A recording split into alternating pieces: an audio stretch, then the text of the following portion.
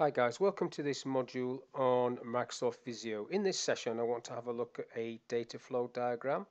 So you can see it here in recently used diagrams, but if I come down and show you where it is, it's in software and database, if I go into there, and then you've got the data flow diagram. Click on that, create, and it gives you uh, a simple stencil, so you haven't got loads of stencils so basically you've got an external interactor. So this is where the database sits in a, in a system. It's not actually the processors or the people who do the job. So first off, I'm going to create an external interactor and I'm going to zoom my screen up a little bit so we can see what's going on. So the process um, I'm going to use is an inquiry or a booking for a training course. So if, if I just type this, double click in there, just customer that that's the customer. So then the customer is going to come in to uh, an entity. This is just uh, a means of you can either get circular ones or these rectangular ones but I'm just going to create this and start numbering this. So this is just a process really. So um, the process will be the booking. That's the booking. So the data comes in. So connector comes in and as soon as you move to this shape you can see there's lots and lots of different connecting points there uh, a lot more than you would normally get on some of the other shapes because you this is a data flow diagram so you can basically have um, data coming in and out from the same shape. There's lots of connection points on this which is great. So when the booking comes in it comes in in two forms actually. So um, I've already made a mistake there. So it comes in via telephone or email. So I need to do two um, options. So I'll go telephone and then another one email. I'll just move this out of the way in a minute. Let's just move that over there so that's email. Like so so if I just get rid of this link push it into there and then I need another connector to go into that one.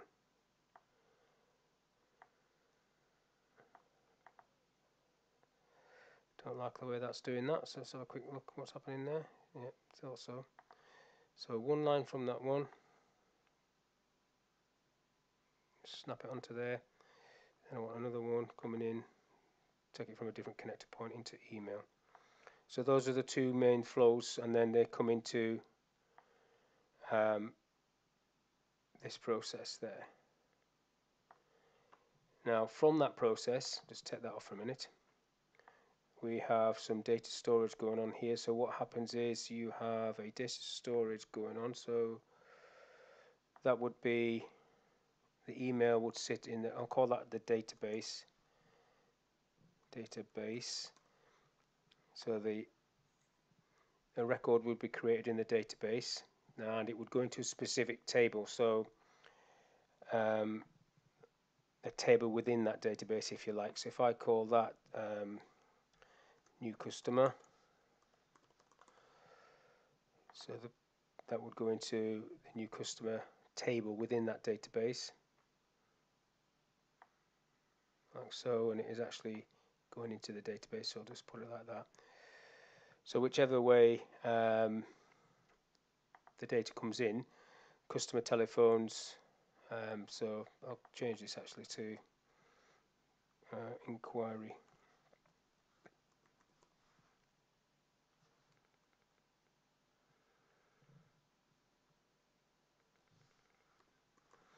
Inquire. So they've inquired it goes into their new customer table. Right so from there if they um, book a course it's another process so let's say this is the booking so this will be 2 2.0 and booking. So they are going from new customer to book so I'll come out of there into booking.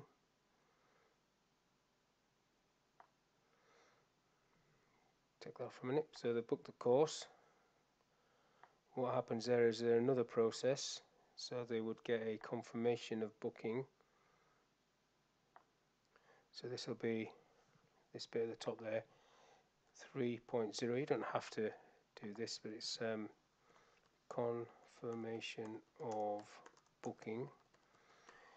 Now this is not a simple process. You have to check this over and over again that the actual flow of the data is correct. So confirmation of booking will come from there to there. So let's do that.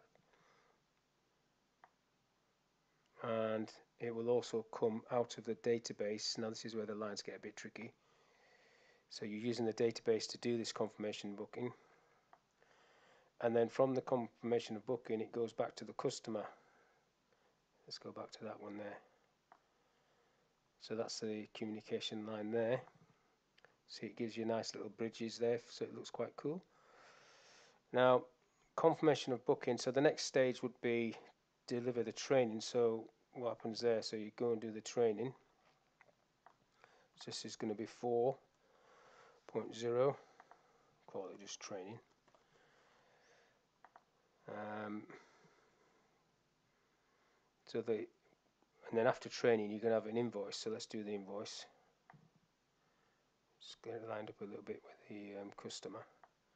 So this is going to be 5 so this is the simple processes here. Invoice.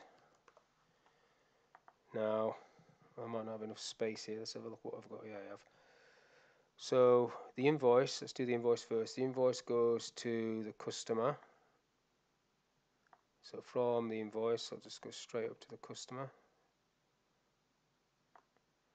And it also comes out of the database. So the database comes out of that. So I need to move this out of the way a little bit. The actual event of delivering the training.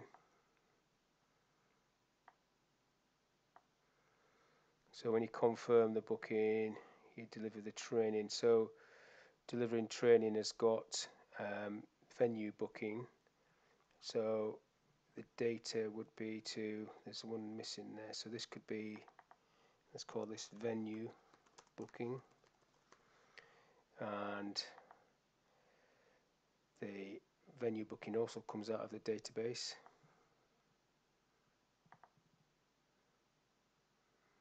Out of that one.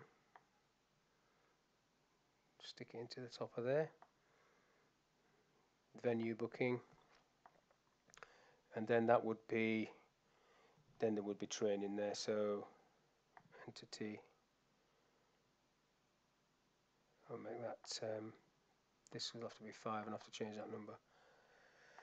5.0 training and just put a see book the training inform the customer and then the cost from the training the invoice is generated. So training once the training is complete the invoice is generated. So that is a email back to the database. Or it's just a process that people would be filling in there. And then I need to change that number because it's the same as that so put that to 6.0 so now what you do is you go through this process in your head and you check that this is the right flow. So it's the data I think um, the issues you get is confusing the actual data path to the processes themselves. So the telephone call customer may do a telephone call comes into in, in this group. From there you you put it into the database as a new customer and then you confirm the booking and then the, um, the confirmation of booking goes back to the customer. And then through a confirmation of booking you are booking the venue so there should be a line coming down there as well. It's the database that's generating this but if I push a line down to the to the venue booking and venue booking, you are then um, delivering the training and from there that generates an invoice and the invoice comes from the database. So that's where that's coming from there the database. And then finally that goes back to the customer. So that's um, a very simplistic quick look at a data flow diagram. And with your own diagrams you can make these as complicated or as simple as you wish. The symbols are quite straightforward. This is one type with, with a rectangle. There is another one that uses circles. It's totally up to you. But it's the it's the flow and the data stores that you would have. So in my particular business I've just got a one database and a table for customers. And I have I have got a table for invoices as well actually. So I could add an extra data store there and instead of in fact I will just do that right now um, I'll put it over here just in case so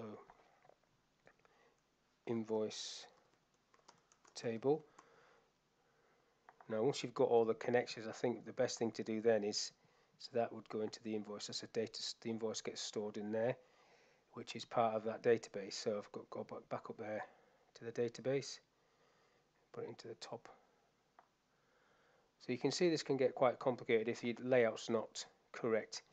And if I if I move, for example, that database down the screen into this space, it may make the diagram better or worse, and I'm not sure if that does. So let's just push it down to the bottom. Maybe that's a bit clearer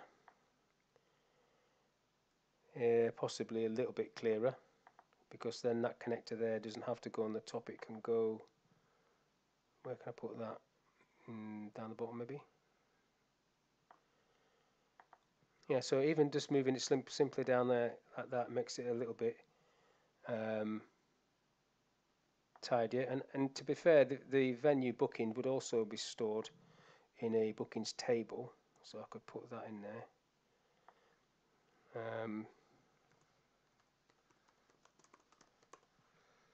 bookings table it's decided to stick itself there.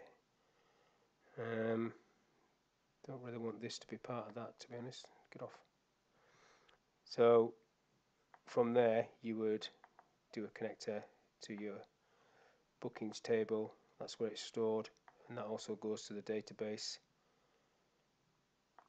Like so. Uh, and basically that's all I'm going to do because I'm just messing about now. That's um, an example of a data flow diagram. So I hope you enjoyed that and got the gist of it. And I'll see you in the next one. Thank you for your time.